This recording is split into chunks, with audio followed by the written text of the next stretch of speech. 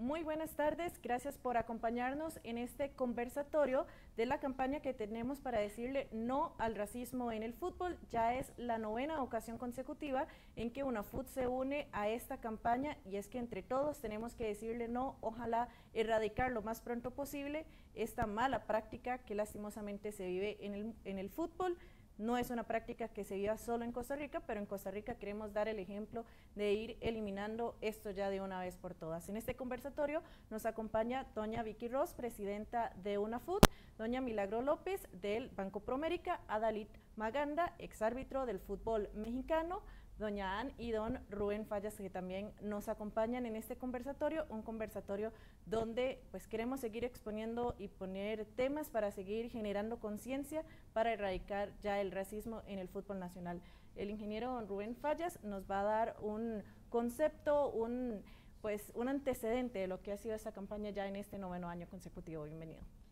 Eh, muchas gracias. Primero agradecerles a todas las personas que nos están viendo y también agradecerle a Tigo Sports, a, la UNAFUT, que siempre nos han apoyado inmensamente en esta campaña, que ya cumplimos nueve años, ya estamos prontos a esos diez años que vamos a celebrar de manera increíble el próximo año, pero contarles que estamos desde el 2014 con esta campaña de respeto anual al racismo y nos han ayudado y nos han apoyado una gran cantidad de organizaciones, dentro de ellos el Fondo eh, de Población de Naciones Unidas, también algunas organizaciones privadas como Black Hat Microsoft que han estado con nosotros, obviamente UNAFUD, Banca Promérica también, que se ha unido con nosotros durante todos estos años y hemos logrado sensibilizar y también hemos logrado reducir esa, ese racismo, esa discriminación que se da en todos los eventos deportivos, especialmente en el fútbol, que pues es nuestro deporte rey, y hemos logrado reducir esa tendencia de racismo en todos los estadios.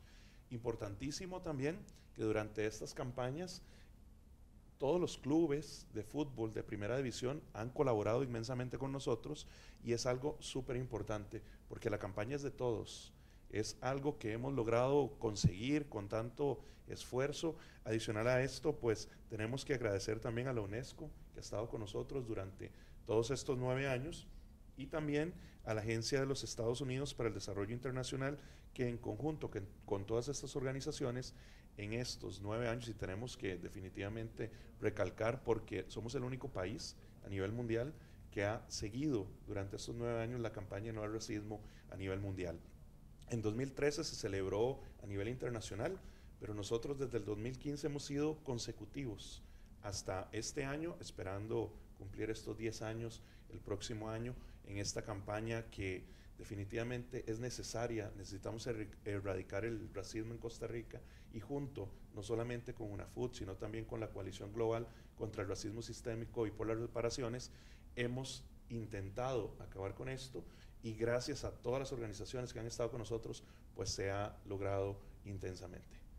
Muy bien, muchísimas gracias. Ahora, doña Anne McKinley, yo quisiera que usted nos dé desde su perspectiva una pues reseña de lo que se ha vivido en estas campañas y lo que se espera seguir viviendo en estas campañas, de decirle ya por fin respeto y no al racismo en el fútbol nacional.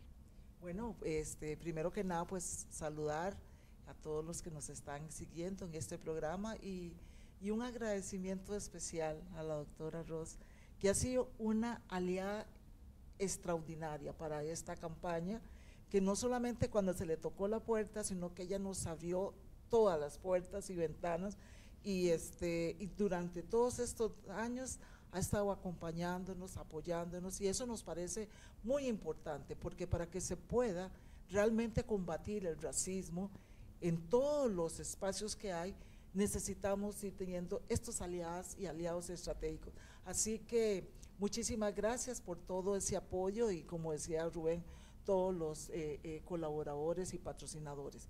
Eh, este tipo de campañas son muy importantes porque precisamente el día de ayer fue el cierre que se hizo a nivel de, nacional con la conmemoración del Día Internacional de las, de las Personas Afrodescendientes y obviamente en Costa Rica pues se ha venido haciendo una serie de actividades y es un mes que se dan todas las condiciones para que se pueda llamar a la reflexión, pero no quedarnos allá en la reflexión. Y por eso la campaña de la Coalición Global contra el Racismo, este, lo que propone son acciones concretas en donde podamos dar ese paso y pasemos de las palabras a las acciones concretas. Y aquí el deporte en nuestro país es un deporte, es una de las disciplinas muy importantes para la población, para toda la familia que se vive y, y por eso tenemos que hacer este tipo de campañas.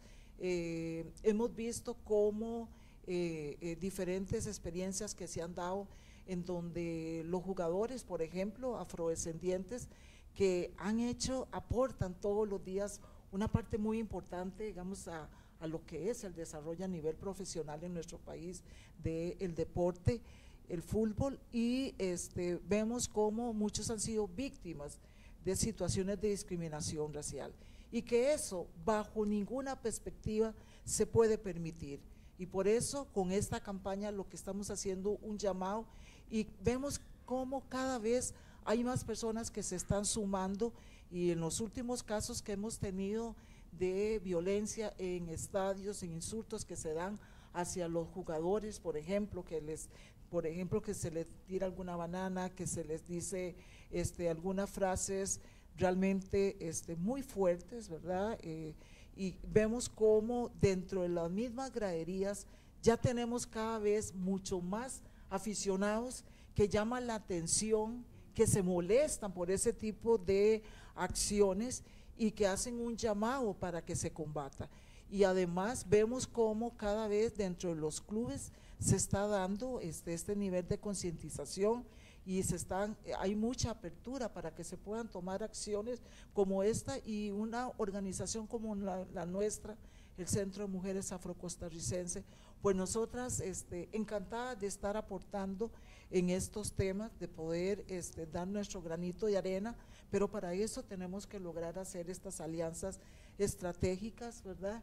Porque creo que la vida, la vida debe ser un espacio, digamos, en los en los estadios donde las personas puedan llegar a disfrutar, pero libre de cualquier tipo de violencia. Y por eso el llamado de hoy es este, no al racismo, sí al deporte, a disfrutar como se debe, pero este, reconociendo además lo que cada uno da y en este caso reconociendo ese aporte que dan los, los este, eh, compañeros eh, futbolistas afrodescendientes y, y que eso permite también que el deporte, el fútbol en nuestro país sea un fútbol de alta calidad.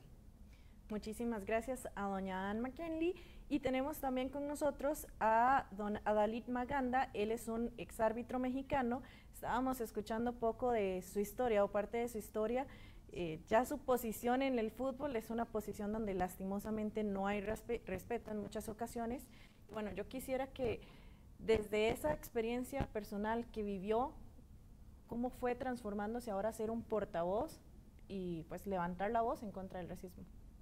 Muchas gracias a todos, muchas gracias doctora por la invitación. En serio que soy muy agradecido por estar aquí en un país muy bonito, es, la verdad, pero, pero sobre todo de, que le gusta mucho el, deporte. Y el deporte número uno de, de Costa Rica es el fútbol pero, pero muchas veces se queda manchado por algunos aficionados o por algunas personas que quieren manchar el fútbol. Eso me pasó a mí en México y, en verdad nadie me regaló nada a mí allá en México. Yo fui escalando de división, de división, hasta llegar en una, en una posición de que muy pocos mexicanos árbitros este, logran porque es una posición allá en México ser árbitro de que no cualquiera eso lo puede hacer por los estadios, por, ese, por el aficionado, pero sobre todo por las personas de que están en ese cargo. A mí me pasó, yo les cuento mi historia. Eh, yo fui escalando de divisiones ahí en, el fútbol mexicano. Estando yo en la segunda división, este, se me acercó el dirigente diciéndome, a ver, Adarit, que se quiero platicar contigo. Me dice, te cuento una historia. En el fútbol mexicano nunca ha habido un árbitro de color. Fíjate, eres negro. Y, y eso no va a pasar. No va a haber un árbitro de color porque no queremos problemas este, con la afición, no queremos problemas con los equipos, ese, porque recuerda de que en los estadios te gritan de todo y la FIFA castiga mucho el racismo. y, en, y me dice, yo te aconsejo de que te vayas de asistente mejor ahí en la banda, eh, porque los asistentes casi no tienen mucha participación en el juego, este, no salen mucho en las cámaras, y te aconsejo, y ahí te vamos a apoyar más. Y mi respuesta fue que no. Mi sueño era ser árbitro de primera edición, el primer árbitro negro de México, ese central. Eh, pasó el tiempo, a mí me quedaban escasamente unos seis meses porque, porque allá para ascender a la siguiente este, división te dan este, cierta edad. A mí me quedaba muy poco tiempo para ascender porque a mí ya me iban a, a dar las gracias, pero, pero en ese momento hubo un cambio ahí en la comisión de árbitros y llegaron unos señores de que les gustó mi, mi estilo de arbitrar y me dieron esa oportunidad. Unos señores de que voy a mencionar sus nombres, el doctor Codesal y Gilberto Alcalá Pineda, de que, de que les agradezco mucho esa, esa oportunidad que me dieron. Ese, se fueron dando las cosas, me debutaron en primera división, me debutaron en la primera y, todo eso, pero ahí empezaron ya los problemas. Empezaron insultos racistas, en una ocasión entré al vestidor de, un equipo, lo voy a mencionar, Pachuca de México. Entré a, revisar los, el equipamiento de los jugadores y empecé a escuchar ruidos extraños, como de los jugadores, ruidos de chango. Uh, uh, y yo me quedé pasmado. Ese, yo no supe qué hacer en esa, porque era, era una experiencia de que yo nunca la había vivido, pero sobre todo de jugadores profesionales. Este, había un reportero ahí de que lo sacó a la prensa y eso fue una bomba. Allá en México fue una bomba que hubo conferencias de prensa del equipo Pachuca pidiéndome disculpas y todo eso, pero yo nunca, nunca me quedé callado. En ese momento hubo un cambio en la, en la dirección de la comisión de, del arbitraje, llega Arturo Bricio Carter y, y comentan unos compañeros, me dicen, Adalid, ten mucho cuidado, el señor es muy elitista, no le gustan las personas diferentes. Y, yo por dentro, yo, yo sí le dije, no creo, estamos en siglo XXI, ya, eso ya acabó, ¿no? Eso ya acabó. Pero en los cortos tiempos, en los tres meses, yo, yo era de los árbitros con, con mucha proyección, porque yo estaba haciendo cursos para ser árbitro internacional. Pero después de un tiempo, ya mis partidos ya, ya no eran lo mismo. Hasta que llegó la, la ocasión de que ya no me daban juegos y fue desde que le fui a tocar la puerta a presidencia. Le dijo, ¿puedo a, este, conversar con usted? Y llamó a sus colaboradores, vengan, el negrito quiere hablar con nosotros.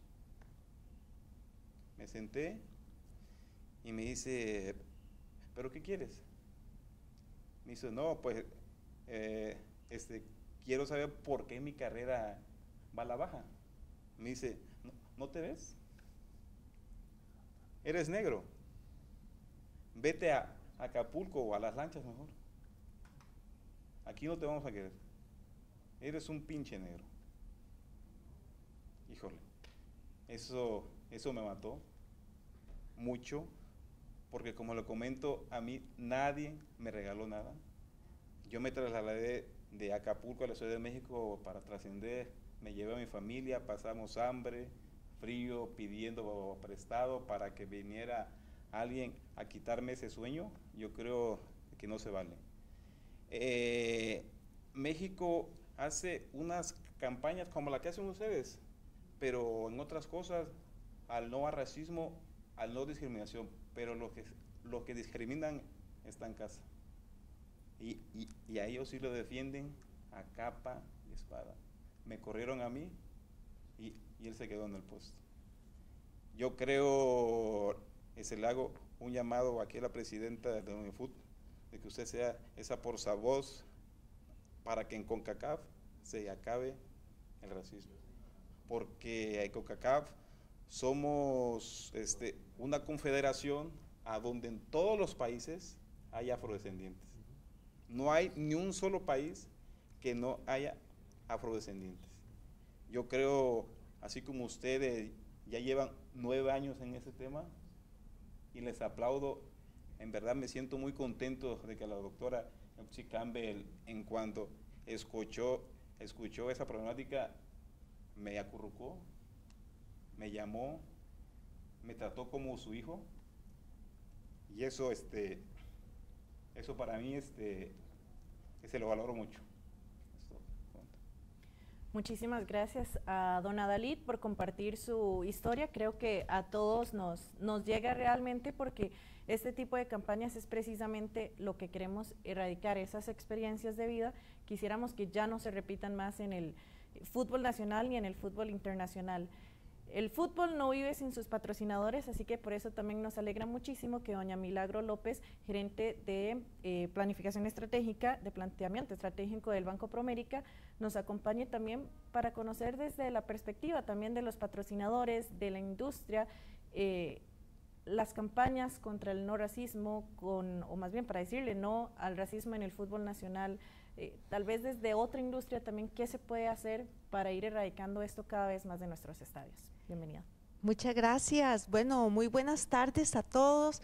Muy contenta y honrada de haber sido invitada a este panel con un tema tan importante que, como lo decía el compañero, pareciera que ya debería estar erradicado, pero lo tenemos vivito, ¿verdad? Eh, aquí, muy, muy honrada de representar a Banco Promérica y a Liga Promérica. Em, Banco Promérica, desde su estrategia de sostenibilidad, eh, creemos firmemente en los valores, eh, en los valores de, respeto, eh, en, los valores de inclusión, de diversidad. creemos que el fútbol, igual que las instituciones financieras, deben ser espacios donde las personas, independientemente de su origen étnico, se sientan no solo respetadas, sino valoradas también. Nuestra estrategia de sostenibilidad incluye la responsabilidad nuestra de contribuir a construir sociedades más fuertes, en constante crecimiento. Eh, creemos que mm, el patrocinio eh, que tenemos en la Liga eh, de Fútbol femenina y masculina en la primera división nos permite no solo ser parte de una campaña tan importante como esta, sino además eh, confirmar vehementemente que estamos en contra de cualquier tipo de discriminación, incluyendo la discriminación racial. Va alineado totalmente con nuestros valores de empatía y de cultura común. Nosotros valoramos muchísimo el patrocinio que tenemos de Liga Promérica porque realmente creemos que juntos, banco y el fútbol, podemos amplificar este mensaje para que llegue a todo rincón, a jugadoras, a jugadores, a todos los espectadores, a todas las comunidades y a los que disfrutamos y vivimos este deporte tan hermoso. Muchísimas gracias a doña Milagro y también nos acompaña la doctora Vicky Ross, presidente de UNAFUD. Doña Vicky, también queremos conocer la visión de UNAFUD. En general son nueve años ya con este que se hacen estas campañas, se han dado pasos importantes, se han logrado cosas importantes, pero todavía falta camino por recorrer. La visión que tiene UNAFUD para seguir en este tipo de procesos. Muchas gracias, Pame. Primero yo creo que agradecer a Rubén, a doña Ann, a doña Epsi también eh, que nos han acompañado durante estos nueve años, haciendo, como, como mencionaron, historia en una campaña eh, que ha sido anual, que ha sido constante, pero desde el, año pasado, la última vez que lo hicimos, eh, asumimos un, un, compromiso adicional, que es que fuera una campaña permanente en estadios. y ellos nos han apoyado en ese proceso también, también en poder tener una mirada más profunda dentro de eh, eso que he llamado yo el buscar cómo se inserta el fútbol en la sociedad y en los impactos que tenemos y testimonios como el de don Adalid y apoyos también como el de Banca Promérica, eh, doña Milagro y doña Sari también que me da pelota, anda por ahí con todas las, todas las cosas que hacemos nosotros y toda esta nueva visión de impacto social eh, a partir de, la importancia y del potencial del fútbol eh, son esenciales en nuestra, en nuestra comunidad y a través de lo que nosotros podamos promover con el megáfono que, que tiene el fútbol y el impacto que tiene el fútbol en la, en la sociedad costarricense y en el mundo. Hay que recordar que en el mundo eh, 4 mil millones de personas son aficionadas al fútbol, que es la mitad de, de, la humanidad, para hablar un poco del potencial que tiene el fútbol para llevar mensajes que sean transformadores de cambio. Y es importante hablar de esta continuidad a través de los nueve años porque estamos promoviendo cambios sociales profundos, de todavía cosas que tenemos que corregir en nuestra sociedad. Y si el fútbol es un reflejo de nuestra sociedad y nuestros estadios queremos que sean también espacios familiares y que la gente lo sienta como la casa, pero que sean aspiracionales en el buen sentido, aspiracionales en el reflejo de la Costa Rica que nosotros queremos que sea, de los mejores valores, no solo deportivos, como por ejemplo del juego limpio, sino del respeto entre seres humanos y es parte de lo que promovemos eh, y cosas esenciales como la no discriminación, respeto a las personas y el no al racismo. Quisiera que continuáramos con usted, doña Vicky, para ampliar, porque hay todo un marco legal, hay un marco sancionatorio dentro del fútbol que es parte de ese proceso de ir diciéndole a los futbolistas, de ir diciéndole al aficionado, no queremos esto ya en los estadios. Así es, la UNAFUT ha ido incorporando al interno de la organización eh, procesos no solo de promoción de, los mejores valores y preventivos como las campañas, sino también procesos sancionatorios, pensando en procesos integrales. De hecho, las multas más altas dentro de nuestro esquema de sancionatorio son por temas de discriminación y racismo y las consecuencias también más fuertes eh, de episodios en el estadio son eh, por estos temas y, y queremos que sea así para que sea eh, una promoción completa de ese cambio cultural que nosotros queremos. Eh, celebramos también que, por ejemplo, en la, ley 7145 de violencia en el deporte fue incluido el tema eh, y hemos hecho el llamado a las autoridades, nos hemos sentado con los ministros de seguridad, con la gente de la Defensoría de los Habitantes para establecer mecanismos conjuntos, primero para generar evidencia y poder generar y guiar mejor la política pública y también cómo lo adoptamos las empresas a nivel privado y, cómo, eh, y tener una claridad mejor de cómo existe este fenómeno en nuestra sociedad. Sabemos nosotros, nosotros como, como una FUT, tanto en nuestra liga de primera edición como en ligas menores, llevamos un registro de los incidentes y lo tenemos, pero queremos que eso ayude a generar evidencia país también. Don Adalid, el, su, sus historias, la historia que nos acaba de contar, sus experiencias de vida, bueno, hacen que uno vaya abriendo los ojos en el país, diferentes situaciones que se han dado ha ido generando una afición que poco a poco también está abriendo los ojos ante este tipo de acciones, ya no las permiten. Si de repente sale un caso de estos, bueno, levantan la voz también como aficionados. Eh, quisiera conocer su perspectiva sobre esto, ¿qué, ¿cuál es el papel protagónico que deben tomar los jugadores, el arbitraje, incluso el aficionado para ir eliminando esto?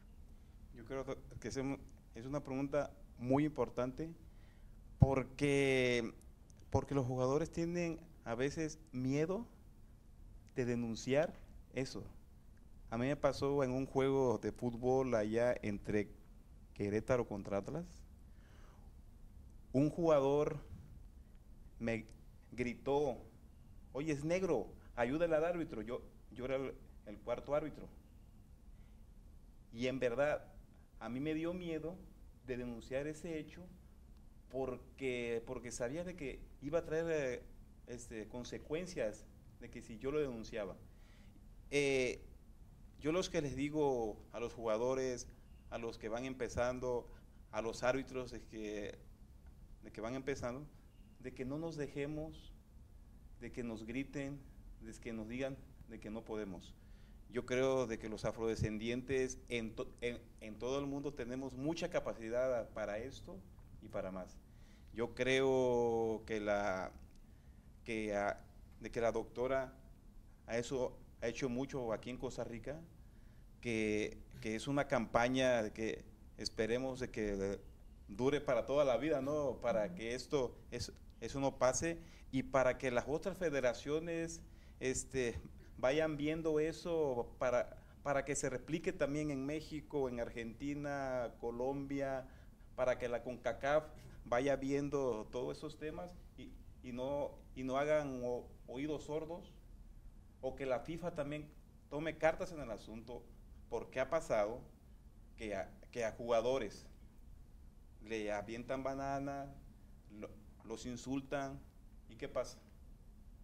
No pasa nada. Yo creo de que debemos de alzar, alzar la voz, ser, ser una sola voz y que, el, y que el racismo se acabe en los estadios, de que el racismo se acabe en el deporte y, y, y que seamos una sola voz para eso.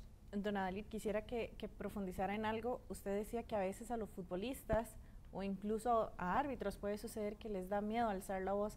Deberíamos de ir creando ese espacio seguro para que ellos, que son pues los protagonistas como tal, no les dé miedo de levantar la voz, que se unan y que sean parte activa de este tipo de campañas también. Este, sí, sí, claro, como te comento, de que los jugadores a, a veces tienen miedo de denunciar, este, para que no le traiga consecuencias. Yo creo de que esas campañas, aquí tenemos a la coalición global, de que siempre van a estar a favor de los, de, los jugadores, pero, pero que eso no sea nada más los jugadores de, de, fútbol, porque pasa en el básquetbol, pasa en el, en el fútbol americano, este, este, pasa en los otros deportes, y, lo, y lo que le quiero comentar, de que no están solos, de que si pasa eso, este, hay, hay muchas autoridades de que no van a defender. Doña Ann, eso que acaba de decir don Adalid, no están solos, no, eh, no tienen que tener ese miedo porque hay toda una, una sociedad que sí quiere ser parte de ese cambio, que sí quiere levantar la voz, no solo en, en cuanto al racismo, sino en cualquier tipo de irrespeto, de discriminación, quiere que todo eso se vaya erradicando, cómo podemos seguir trabajando todos en conjunto para poderle ser, hacerle ver a todos estos jugadores, aficionados, dirigentes y demás del mundo fútbol de que no están solos y que es sano levantar la voz. Sí, efectivamente, como decía la doctora Ross, se han dado avances muy importantes en nuestro país a nivel de legislación, pero eso no es suficiente. Y aquí viene algo muy importante que es la solidaridad el trabajo de manera conjunta y creo que este, hay que trabajar en la parte preventiva.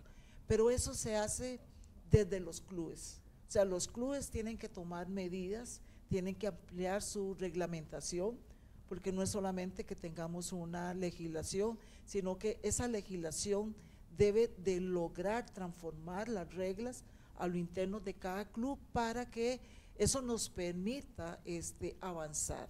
¿verdad? Y yo creo que aquí la apuesta no es por disminuir, sino que la apuesta es por erradicar, erradicar el racismo en todos los espacios. Y por eso yo aplaudo montones al Banco Promérica. Creo que esa eh, acción noble que están haciendo, digamos, eso, eso habla mucho de, este banco y, y bueno, constitucionalmente hablamos de un sistema solidario y eso es que no podemos dar la espalda a lo que está pasando a nuestro alrededor. Y por eso es importantísimo que podamos tener estas alianzas para trabajar de manera conjunta entre todos. Yo creo que podemos salir adelante y de esa manera tanto los jugadores como el equipo arbitral este, y todos los integrantes de un, de, de un equipo pueden sentirse que no están solos, pero además acompañados de la afición. la gente cuando va al estadio, los aficionados quieren ver eh, eh, un espectáculo de altura y cuando estamos hablando de un espectáculo de altura quiere decir un espectáculo donde yo pueda este, disfrutar a montones y, y, además que toda la familia puede ir. Entonces yo creo que aquí la tarea que estamos impulsando no es una tarea de unos, es una tarea de todas. Y, este, y bueno, en estos nueve años hemos visto que efectivamente la, hemos logrado avanzar, pero todavía faltan muchísimas cosas que hacer. Pero Costa Rica se está convirtiendo en un país este, ejemplo para el resto de los otros países de que sí es posible hacer un cambio. Y el cambio empieza por cada una de nosotros, de nosotras, en identificar esas actitudes racistas que yo puedo tener para desconstruirla y poder entonces construir en positivo. Muy bien, doña Milagro, yo quisiera que usted nos ayude ampliando un poco en ideas de cómo desde la parte comercial, desde la parte patrocinadores, seguir impulsando y seguir ayudando para, como decía eh, doña Ann, no disminuir, sino erradicar ya esto de una vez por todas. Sí, yo creo que, bueno, está haciendo un poquito más de esto que estamos haciendo todos. Em, en Banco Promérica, en más de 30 años que tenemos eh, de historia, nos hemos caracterizado por construir relaciones muy cercanas, muy profundas con nuestros clientes, con nuestros colaboradores, con, nuestros em, proveedores, amigos en general. Y yo creo que una oportunidad es que podamos servir de voceros con un gran megáfono, como decía la doctora Ross, con un gran megáfono amplificando ese mensaje siempre con el sombrero de patrocinadores de la Liga de Fútbol Femenina y, Masculina de la Primera División. Para otras marcas, digamos, del mercado que quieran eh, Em, que quieran empezar, incursionar en su estrategia de sostenibilidad, eh, firmemente recomendamos el incluir estos pilares de no a la discriminación, no al racismo en sus estrategias. Y es que a veces hablamos de sostenibilidad y pensamos en, en, en, en, verde, ¿verdad? En el medio ambiente, pero la sostenibilidad lleva mucho más que eso. Tiene más pilares, incluyendo el pilar social, donde va a, caer esto directamente. Em, de verdad y de nuevo con mucha vehemencia llamamos e invitamos a nuestros colegas de otras instituciones financieras, a otras empresas que están todos los días pensando cómo crece su negocio.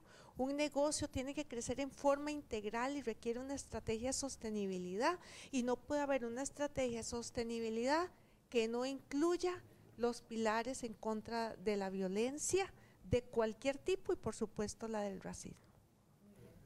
Don Rubén, creo que hemos hablado ya de que todavía falta camino por recorrer, eso está claro, de que se están dando los pasos, pero en esto quería que profundizáramos en la satisfacción de ver que, bueno, se han incluido leyes, se ha ido cambiando poco a poco, este tipo de campañas sí se ha ido... Eh, le decía a don Rubén que eh, todavía falta camino por recorrer y eso lo tenemos todos claro. Este tipo de campañas están ayudando, pero también se ha ido eh, haciendo más conciencia en la gente, ya se han incluido leyes en la República. Eh, da satisfacción saber que sí se están teniendo los resultados, que bueno, tal vez vamos poco a poco, pero los resultados se están viendo. Definitivamente, iniciamos en 2014 con una idea de la doctora Epsi Campbell cuando era diputada. Ahora, en 2023, estamos recogiendo todavía los frutos. Como mencionaba eh, doña Vicky, eh, que ella siempre nos ha apoyado con esto, el fútbol tiene un impacto social impresionante. Los chicos, las chicas ven a sus jugadores en el estadio y están esperando seguirlos a ellos y ver qué valores tienen estos jugadores son ejemplo para la sociedad. El impacto es gigantesco. Y debemos de iniciar desde casa. La UNAFUT, con, su, con los dos equipos eh, de primera división, tienen esa gran responsabilidad de que sus jugadores, la familia de cada uno de los clubes, puedan brindar esos valores para que los chicos y chicas que los están viendo en los estadios, en televisión, puedan entender cómo poder hacer las cosas de la mejor manera. Hay personas que yo como docente nos dicen es que eso se enseña en la escuela, en el colegio, porque es la segunda casa. Bueno, sí, pero cuando la casa se vuelve la primera escuela. Y en este momento UNAFUT es la primera escuela. está enseñando valores a los jugadores, están transmitiendo esa ética profesional que es importante que podamos seguir visibilizando. Y esa es una de las palabras que a la gente le cuesta entender. Vamos a visibilizar la problemática porque eh, hemos escuchado muchas conferencias, es que en Costa Rica no hay racismo, eso no puede ser, porque es un país donde hay mucha gente afrodescendiente, ¿cómo va a haber racismo? Bueno, sí, existe el racismo en Costa Rica, lo estamos visibilizando, lo queremos erradicar y trabajos como los que hace UNAFUT, como los que hace Promérica, como lo hace el Fondo de Población de Naciones Unidas y todos los patrocinadores que ponen ese granito de arena para que esto cambie, se está consiguiendo. Y eso es importante. ¿Y qué otra manera podemos visibilizarlo? Bueno, ahora que está tan de moda las redes sociales, que se puede potenciar todo, todo lo que se ve, podemos utilizarlas también para poder educar a las personas educar a los chicos, educar a las chicas, a esos padres de familia que llegan al estadio con la esperanza de que su equipo gane, obviamente, pero también de que sus hijos se diviertan y que no escuchen a otra persona diciéndole improperios a los jugadores afrodescendientes, porque lamentablemente eso lo repiten en la escuela, lo repiten en el colegio, y eso es lo que tenemos que terminar. Cuando todos nos eduquemos en estos temas que sabemos que sí existen, que los vamos a visibilizar, vamos a entender que podemos erradicar con el racismo, pero así de raíz. Tenemos que visibilizar también, como lo decía Adalid ahora, no solamente Costa Rica, con CACAF, la UEFA, todas las demás confederaciones que existen a nivel mundial, esto debe hacerse en todo el mundo. Costa Rica es un ejemplo y eso es muy bueno. Eh, nos gustaría, eh, o nos hubiese gustado en todo momento, que Adalid no sufriera todo lo que pasó en su país y que la Federación Mexicana de Fútbol pueda replicar de manera real, no solo de la boca hacia afuera, sino de manera integral en todos sus clubes, que esto no suceda. Pero también que lo hagan en Canadá, en Estados Unidos, en toda la confederación, porque es importantísimo que podamos entender que todos somos seres humanos, todos sufrimos, todos tenemos corazón. Y cuando nos hacen ese tipo de ofensas, de verdad que nos quebramos.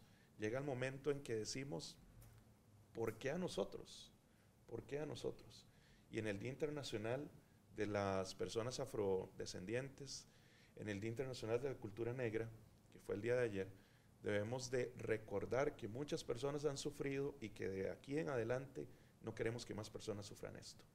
No solo en los estadios, sino en las casas, en los colegios, en las escuelas. Tenemos que parar todo ese racismo, ese ciberbullying que se recibe a través, lamentablemente, de todas las redes sociales. ¿Y cómo se hace esto? Haciéndole entender a todos los demás que todos somos iguales como personas y que de acuerdo a la ley de derechos humanos, todos tenemos los mismos derechos de ser tratados con dignidad. Muy bien, ya para ir finalizando, quisiera un mensaje final de parte de todos ustedes para ir, pues, eh, sembrando aún más esa semilla en la conciencia, en la mente de todos los que nos están siguiendo por redes y están viendo este conversatorio. Quisiera iniciar por usted, doña Milagro. Eh, primero que todo, bueno, agradecerle por su presencia y después eh, este mensaje final para todos los que nos están siguiendo en este conversatorio. Muchísimas gracias, gracias de nuevo por la invitación. Todos tenemos una responsabilidad social eh, empezando, como lo decías muy bien, por nuestro metro cuadrado, primero la responsabilidad conmigo, mi metro cuadrado, y desde el punto de vista de los negocios, cómo logramos crecer nuestros negocios integralmente de manera que eh, podamos aportar a la sociedad en todo sentido, incluyendo la problemática de la discriminación eh, de todo tipo y la discriminación al racismo. Hay formas de hacerlo, nosotros lo hemos vivido hemos liderado eh, la estrategia de sostenibilidad en este país por muchísimos años y, sabemos que realmente se puede hacer y sabemos cómo. Así es que ojalá más empresas se unan en esta estrategia y estamos para servir y colaborar y ayudarles a otras que quieran hacer lo mismo que estamos haciendo nosotros desde Banco Promérica. Muy bien, muchísimas gracias a doña Milagro López, gerente de planeamiento del Banco Promérica. Y también quisiera a don Adalid que nos dé su mensaje final. La experiencia de vida, repito, nos llegó mucho a todos. En la mañana, incluso en la conferencia de prensa que tuvimos, los lo vimos hasta derramar lágrimas, lágrimas que nos encantaría que fueran de alegría, de saber que ya no existe el racismo en el fútbol, pero bueno, vamos progresando para ello. Muchas gracias, les, les digo, muchas gracias por la invitación. Eh, en verdad para mí es muy importante estar aquí. Y, y lo que le digo, yo como embajador en contra del racismo en el deporte, yo les digo a todas las confederaciones, a todos los miembros de FIFA, esperamos visitar a, todos los países, eh, México, Argentina, para llevarle ese mensaje de que ya no haya discriminación en contra de ningún jugador afro. Este, aquí estamos para servirle y muchas gracias por la invitación. Muy bien, muchísimas gracias a don Adalid. Eh, doña Ann McKinley, también quisiéramos su mensaje. Eh, la vemos de manera recurrente en este tipo de campañas, pero la lucha no queda solo en la campaña 7 de la apertura 2023, sino es que es algo continuo.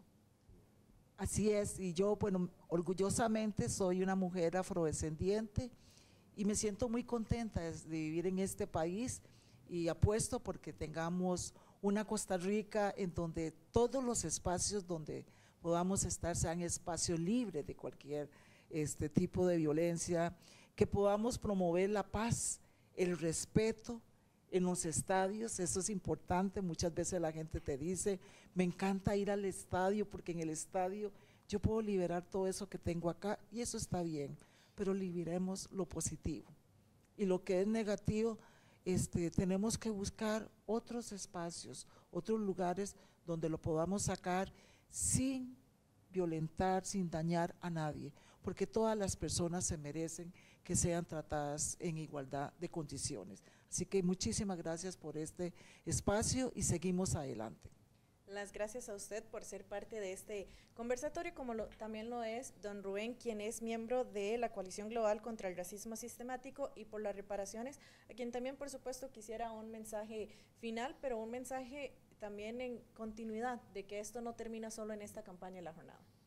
Definitivamente agradecerles por la invitación, agradecerles también por continuar con esta campaña durante todos estos años y definitivamente quiero hacer eco a lo que decía la señora Milagro, que definitivamente muchas empresas deberían de seguir con su plan de responsabilidad social empresarial y que puedan contribuir con, esta, con estas campañas para la eliminación no solo del racismo, sino de cualquier tipo de discriminación que se dé en cualquier espacio. Eso es importantísimo. Y recordarles a todos, todos somos seres humanos, todos tenemos corazón, todos eh, nos quebramos en algún momento, pero si tenemos la posibilidad de evitar de que esto le suceda a alguien más, hagámoslo, definitivamente. Dice un refrán por ahí, hoy por ti, mañana por mí. Bueno, hoy por ti, mañana por todos, porque queremos acabar con esto.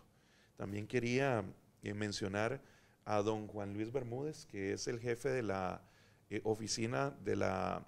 Eh, de Naciones Unidas, del Fondo de Población de Naciones Unidas, que nos tiene un mensaje súper especial. Entonces queríamos también que él pudiera participar en esta campaña y pudiéramos presentar el video que tiene para nosotros. Así que vamos a ver el video con este mensaje poderoso también. Primeramente quiero hacerles llegar un cordial saludo de parte del Fondo de Población de las Naciones Unidas, el UNFPA me encuentro en la provincia de Limón, región Huetar Caribe, uno de los principales epicentros de todos los aportes que en áreas como la ciencia, como el deporte, como la economía, la cultura y en general un gran legado social que nos ha dado la población afrodescendiente. No es el único epicentro porque nuestro país está rodeado y permeado de negritud y de herencia afrodescendiente que hace parte de la Costa Rica multiétnica y pluricultural.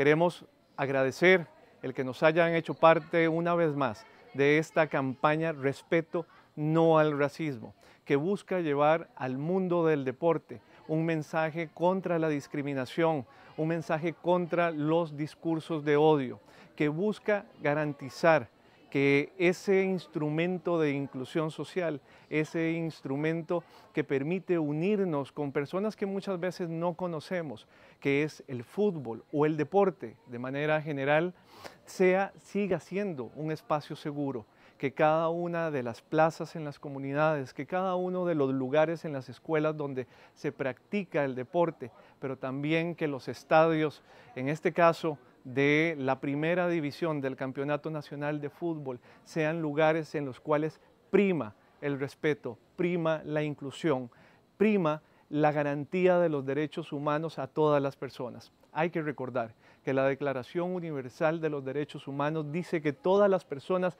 nacen iguales en dignidad y derechos.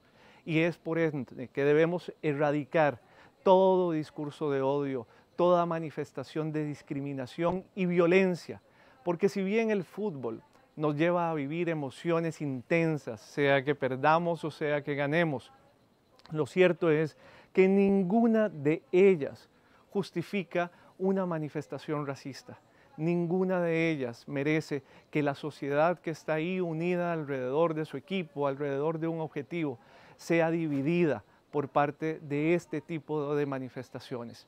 También queremos hacer un llamado vehemente a los clubes de fútbol, queremos hacer un llamado vehemente a quienes están al frente de las direcciones técnicas de los equipos, a las aficiones, para que se involucren, para que viralicen este mensaje, pero principalmente que viralicen una cultura de paz sustentada en los derechos humanos.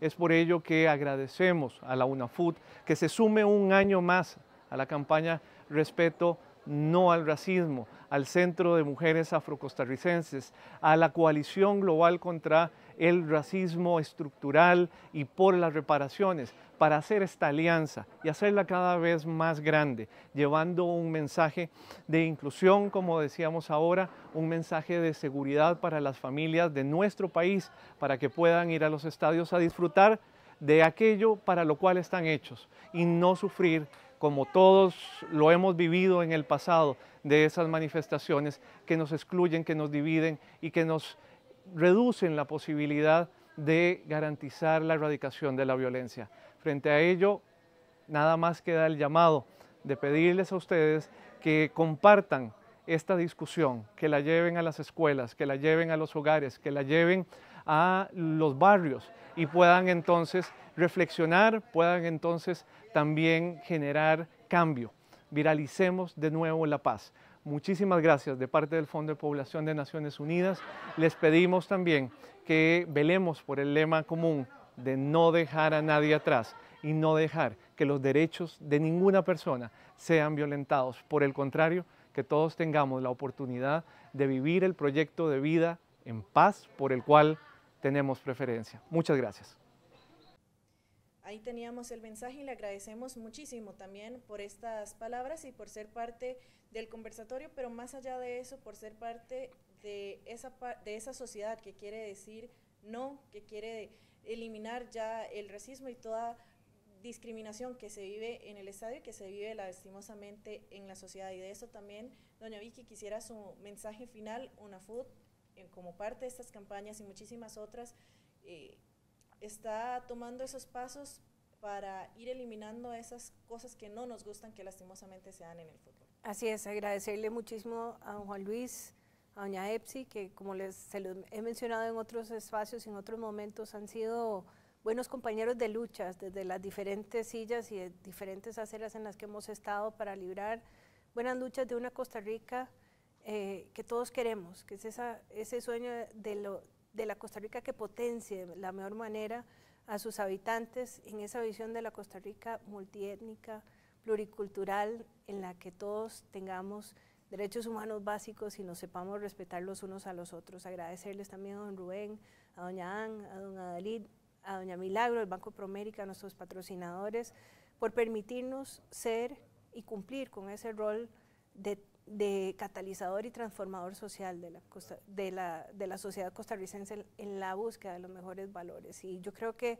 eh, cabe la pena, vale la pena reiterar en este momento el compromiso que hemos adquirido desde el año pasado de seguir haciendo de manera permanente la campaña en los estadios de primera división. Ahí van a seguir sonando los audios de la campaña en todas las jornadas del fútbol nacional y, y mantener la, la, conversación abierta, tanto con la UNAFUT como con los diferentes entes que conforman el horizonte de, del fútbol nacional para ir construyendo ese mejor escenario en nuestro país y buscar la erradicación del racismo y de la discriminación, no solo en el fútbol, sino en la sociedad costarricense.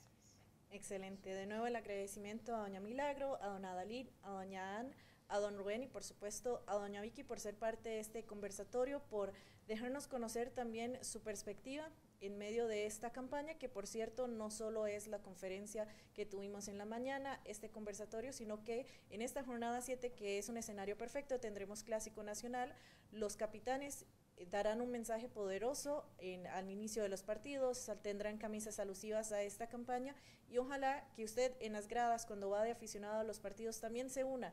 No al racismo, no queremos discriminación en los estadios, queremos ya erradicar y que Costa Rica sea ejemplo no solo para CONCACAF, sino en general para todo el mundo que se diga que Costa Rica está dando esos pasos importantes. Con esto cerramos este conversatorio. Muchísimas gracias y repito que sean... Eh, partícipes activos de campañas como estas que le digamos ya no a la discriminación en los estadios. Muchas gracias.